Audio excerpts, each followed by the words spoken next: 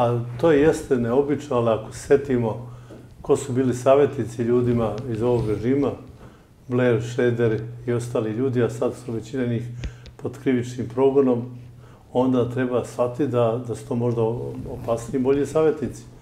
Oni koji se bave ozbiljnim na globalnom nivou kriminalom, a postaneti savjetnik u jednoj maloj zemlji, mogu samo da te nagovore da uđeš u razne investicije koje donose ličnu korist ljudima iz vrha vlasti, ali ne i narodu.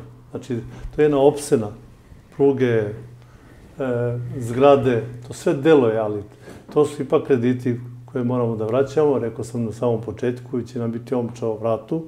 Mi smo ugasili građevinsku industriju na račun stranaca, mi smo predali sve banje, smo im poklonili, sve rudnike, predali smo im e, sve što je ono bilo kvalitetno, a zapostali poljoprivredu. Jer seljak koji bi dobio 10.000 eura kao subvenciju jedno domaćinstvo, takih svi po Srbiji da dobiju, mi bi digli poljoprivredu. Ne možeš od seljaka da uzmeš, ne možeš da ga raketiraš. To sa pčelama, ja verujem da to ima, ali to opet je jedna mala pojava ako bi se većina subvencija puta kao poljoprivredi. Ne, sad im ne daju da prave biodizel. Umesto seljaci sami da prave dizel za sebe i za prodaju, oni im brane. Smo jedna država koja da brani proizvodnju. Vidim da je to velika i dobra tema koju slabo razumem i stvarno bih volio da je negde promovišete kao posebnu temu jer mislim da je tu dosta rešenja ta poljoprivreda o kojoj ljudi... To je sjajno rešenje. Imamo praktično, imamo obnovljiv izvor energije, proizvodnju dizela, imamo Vojvodinu, znači da, pogotovo sada iće cena dizela nekoliko puta će biti veća. To je na svetskom nivou problem, nije, nije to samo, samo kod nas, ne kažemo za sve ovo da krivimo, ovo im brane to. E, naveli stoje pogrešne investicije. Kako vidite investiciju u stadion? Stadion koji košta otprilike četiri puta skuplje nego što je realno, možda će i pet puta skuplje koštati, nego što isti takav stadion košta u Bilbao. Stadion Atletik Bilbao je identičan ovom našem, završen 2013. košta 211 miliona. Naš će koštati skoro milijardu. Kako je moguće da niko, da nema nekih krivičnih prijava ili kako se to zove, zašto će to da košta, da se ispita, mislim, apsolutno je sve identično. To je kao Isti... Pošto je zarobljena pravosudna vlast, zarobljena tužilaštvo, vrlo komotno oni ugovaraju te poslove, po, rekao sam vam, samo u građevinarstvu. Znam, ali ovo je crno-belo. U gradnjama nema veze, nema ko da pokrene postupak, najviše se izvlači novac. Tu se izvlači ogroman novac, ide na private račune. Ako asfalt treba da bude, recimo, sad ne govorim o stadionu, 8 cm, 3 cm u kradu uzimaju džepovi. To tako sve odlazi. Ovi stadioni u gradovima koji nemaju posjećenost, mogu da predstavljaju neko pranje novca. Ja ne znam e, gde idu tokovi droga, gde je taj od ogromne droge, gde odlazi novac. Ne odlazi samo u Beograd na vodi, ko što tvrdili neki opozicionari, pa se tamo i ne traži poreklo novca preko Narodne banke. Znači, sve je vezano za istu priču. E, praviti stadione, a nemati kanalizaciju u Borči. Praviti ekspo, a nemati kanalizaciju u Borči. E, decenijama I danas povesti akciju pred izbore za čistiju Srbiju je opet jedna manipulacija. Vidim, Vesić ide sada nabili šlemove i predstavljaju projekte na papirima. Čudo da nisu opet sad počeli da kopaju metro pred ove izbore. Ovo je bilo četvrti put da najavljuju početak gradnje. Da, bilo bi vala previše. Da, bilo bi stvarno, vidim da su ovo puta tu začutali. Znači, jedna igranka koja traje, evo, više od jedne decenije, skoro će biti deceniju i po, Ako ljudi nisu svesni... Kako vidite rušenje Beogradskog sajma? U pitanju je zgrada koja je nekada bila na neki način spomenik građevinarstvu, prvi put podignut taj prenapregnuti beton bez jednog stuba, tolika kupola i sada će to da ostaće samo ta zgrada, ali verujem da će kroz koje godine i nju da sruši. Ali generalno rušenje sajma, to je neko tu planirao pored pruge, pored autoputa, pored reke koja je plovna, ima zašto neko tu napravio taj sajam, neko je mislio i pre Aleksandra Vučića. Ali ti ljudi tada nisu znali da će se napraviti Beograd na vodi, pa sve to što se radi u tom pravcu je u funkciji Beograda na vodi. Znači njima treba taj prostor, šire se tamo prema Bigsu, to je sve sasvim očigledno i prosto uh, ako su bili spremni da udare na Kalemegdan, već su bili istekli ogroman broj drveća na Kalemegdanu, onda su spremni na sve. Prosto oni nemaju taj emotivni odnos ni prema Beogradu, ni prema kulturi. E, ko se bavi kulturom od aktualne vlasti? Niko. Ni ministar kulture, sigurno sam nije otišao u pozorište deset godina. ne znam ni ko je ministar kulture i to uopšte nije važno. Ne, bio samo gost, znamo... prethodni ministar Vladan Vukosavljević i fenomenalno, ono zaista isto preporučujem gledalcima, svima preporučujem pogledaj tu emisiju sa čim se on čovjek sve se učio, suočio dok je on je bio, dok je bio u SNS-u ministar kulture kao nestranačka ličnost, to je jako kratko trajalo, ono je jezivo šta njegovo svedočenje.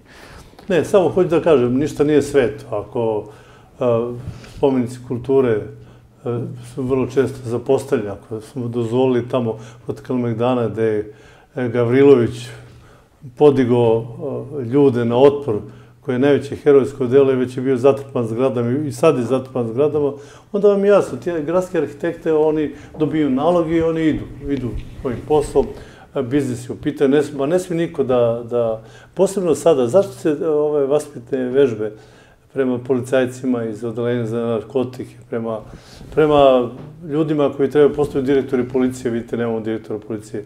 To se radi namjerno da bi se pokazalo da ne smije niko da digne glavu. Ko digne glavu, neće ga ubiti, ali će mu uzeti posao, procesuirat će ga e, tako lako, a ljude iz svog okruženja ne procesiraju uopšte.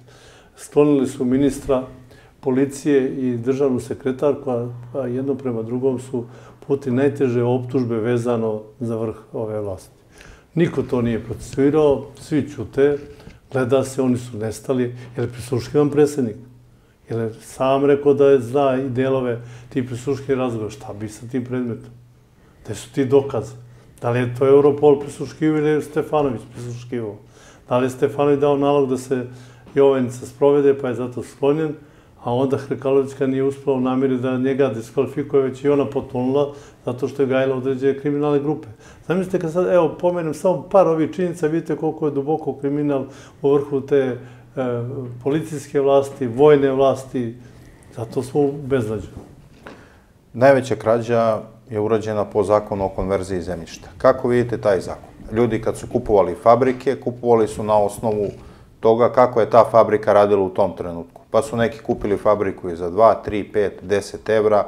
Ja konkretno znam slučaj čoveka platio 200.000 evra fabriku u Šapcu. Sada sa zakonom o konverziji zemljište dobio 4 miliona evra.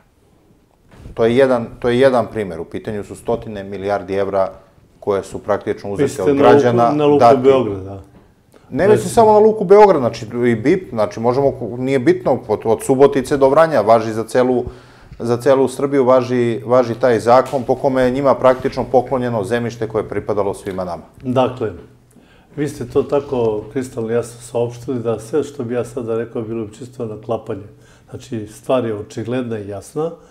E, režim koji odlazi, on i dalje pravi samo poslove koji će da donesu veliku korist, taj odlazeći režim sad bez pardona rade sve ovo što smo pomeli, radeći druge velike stvari, samo da što više uh, uzmu kapitala, rekao sam, na samom kraju. Sigurno su oni da ne mogu da vladaju više godinama, to je apsolutno jasno. I zato se vuku ovako brzi potezi, a posebno ako još gužva na Kosovu, onda još bolje prolaze razni zakonski projekti u kojima i ne učestvuje opozicija. Zašto i opozicija ne učestvuje? u, po ovom zakonu svaki građanin Srbije je oštećen za nekoliko, možda čak i nekoliko desetina hiljada evra. Ogromna je vrednost sveukupno ovog zemljišta. Nekoliko, više od 5000 evra sigurno. Svaki građanin Srbije je oštećen. Opozicija ćuti o tom zakonu. Prosto je neverovatno da im taj zakon nije tema, a onda se uhvate, uhvate sad nekog vidikovca kod Čačka ili uhvate se neke, neke druge stvari. Ne sporim ja da su i to teme, ali ipak je ovo daleko bitnije, sigurno. Da, tema na temama, slažem se. Opet kažem, nedostatak autoriteta, kredibiliteta u javnom životu. Slučajno su na čelo stranaka zaseli ljudi koji nisu nešto mnogo imali rezultata u karijerom. Sem par njih, neću sada promovisati Kosovu, ali to je mali broj. Znači, opozicija bila, treba bude mnogo snažnija, da se ne pretvara neke nevladne organizacije, neke male sitne ekološke udruženja. To nije predmet velikog opozicijnog rada. Da, za te male organizacije, ali opozicija se bavi temama kojima se očigledno ne bavi kao što su stvarno Kosovo. Mora pitanje da se reši na bilo koji način. Nemaju jasne stavove. Ili, ili e, se opet zacenjuju e, Kosovo nikada, ali bez ikakvih posebnih uplitanja o bliže detaljisanje, ili su onako bezdušno kao pa to je stvar u kojoj mi sad se ne bavimo, imamo prioritete i to tako sve ide. Zato nemaju autoritet. Ljudi, kada izađu na ulice, pored nesreće duboke koji su ostali kad su ove deca pobijena i kada su nekoliko dana u tugovanju stvarno čutali i gledali i pratili kako vlast također nemilosrdno bez odlaska da izjave saučešće u školu, bez, sa, sa nervozno da se to što pre završi, poslije izvesno vremena počeli su razmišljaju o svom životu, šetaju i razmišljaju o drugim temama. Pozicija im nije nametala te druge teme. Blokada gazele ili uh, vršljanje oko uh, RTS-a bez neke konkretne akcije zamara narod i njima je dosta toga. Znači, Blokada gazele je bila da se ne bi otišlo na Pink, jer tu ne znam kako bi zaustavili narod. To je bilo da. najbitnije da se, da se narod preusmeri ka Gazeli i ka Novom Beogradu. Pa je jer je narod više bio zainteresovan da ode do Pinka. slažemo se da ako misle da ozbiljno napravi neki preokret, korist ovog naroda, pa i sveliču korist, mora potpuno drugačije da se ponašaju. Ne kažem da, da to treba bude kao 1991. godine, ali tad je energija i tad je bila potpuno drugačija energija u tom vremenima. Lakše je bilo tu energiju nekako ispoljiti, zato što je to bio postupak borbe protiv komunizma ja ne znam da li ne vidi da se ovaj komunizam opet u tom obliku fašističkog delovanja pojavi opet na to u Srbije. Da li to ljudi vide ili ne vide, ja ne znam, ja vidim. Znači, to su meni neka dva suprostavljena pola koja su se nekako približila i onda onako gaze po narodu i to ide u jednu veliku spavanku. E, postoji strah, opet ću ponoviti, kod ljudi u tužilaštvu i sudu i u pravosuđu koji ja ne razumem. Ako se izađe hiljadu sudija na ulicu, gotovo je. Kao što advokatura, ako bi izađe, sjećate se demonstracije, izađe su advokati, znali gde se nalaze. E, e, advokatura čuti, evo da ne zaboravim, advokatura čuti. Mene kad napada neki politički funkcioner, jedva to predsjednik komore Beograda me stvarno zaštitio i bivši predsjednik komore Srbije, ali ja, mog advokata neko tako da optuži, kad su mene optuživali, ja bih napravio ozbiljnu organizaciju protesta, ne bi znali gde se nalazi. Advokatura je najmoćnija, evo, nju sam zaboravio, slobodna asocijacija i na sramotu ove zemlje prvi put advokatura kompletno čuti na teška dešavanja koja se dešavaju u zemlji. Prvi put su načutali u slučaju Cvijana. Pa da im je kolega, da im je kolega tako završio da, da se advokati pojedini su znali šta se desilo, obrisali su ga i to vidite, ne mogu da izgube posao, ne može ih niko razrešiti. Či mogu da se pojavi. A obaveza je te asocijacije koja je jedina po vokaciji se bori za ljudska prava i slobode, da izađu i da izađu. Kad se ono glumci izlazi, ja sam pozivao predsjednika komore da sazove fino sastanak i da advokati izađu na protest ako smatraju da su ugrožene ljudska prava. Da, ali očigledno je i tamo ubačeno ljudi iz režima i otko znam.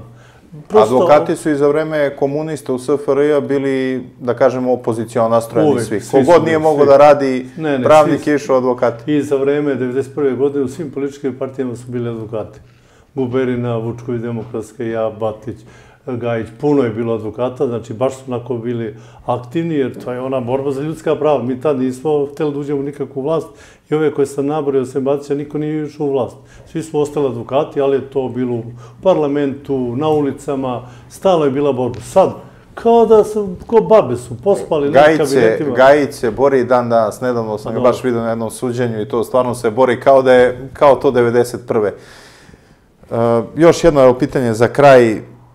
Kako vidite ono sa Parizerom, gde predsjednik prvo se hvali narodu koji je u tom trenutku vice šampion sveta u košarci, imamo najboljeg matematičara, narodu koji ima Teslu iza sebe, da se on hvali na televiziji da je Parizer pojeftinio, da je par dana kasnije onda on išao tamo, sekund, stvari nije sekund, nego je uzeo, pravio sendvič od tog Parizera, jede pred kamerama, i hvali se time kao eto to je neki naš uspeh. Čovjek koji je pričao da smo u zlatnom dobu, da smo ekonomski tigar, da će dovesti Mercedes u priboj, da će leteće automobile da uveze iz Kine, da ćemo njima tamo slati nogice, papke, tako nešto. Na kraju smo došli na Parizer od 250 dinara.